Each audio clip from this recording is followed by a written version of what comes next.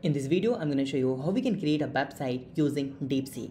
So first of all, open the DeepSeek chat.deepseek.com and now we need to write a prompt. And here I'm going to create a website for doctor appointment booking. I'm going to write one prompt here and this prompt is create a single page website using HTML, CSS and JavaScript. I'm going to give you that prompt in the description. You can use it or you just need to change here the doctor appointment booking to the something else if you want to create another type of website.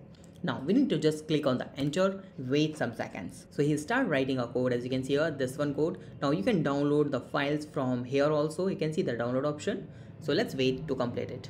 Now the DeepSeek completed our code. See this one. Now let's click on the download button here.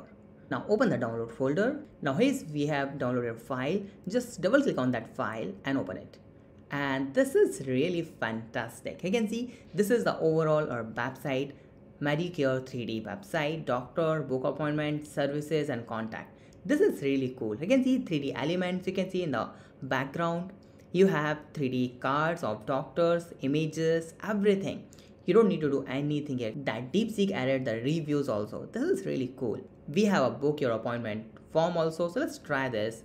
Let's with Sarah. Now fill all these details and just click on confirm appointment. Fantastic. Appointment booked with Dr. Sarah Johnson at time and the email sent to the thecodingbus at gmail.com that's really cool click on ok you can see we have a footer also and all these links is just like click on doctor click on book appointment services and contact this is really cool so now this is our overall website i want to add it in this website so how can i do this so it's very simple. Open the VS Code click on the open, go to the download folder and just select our HTML file. Now we have that overall website code. Now, if you want to change something like the browse doctor, so just copy this, go to the VS code and just search here for the browse code. Use the control F or command F and this is one of the browse doctor, book doctor, just save that file, use command S or control S, go here and refresh it. You can see the book doctors.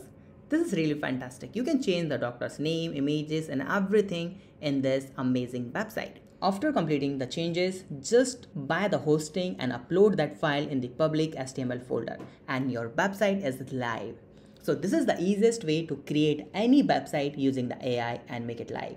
So if you have any doubt, you can ask me to comment. Thank you so much for watching this video. Have a nice day. Be safe. Bye-bye.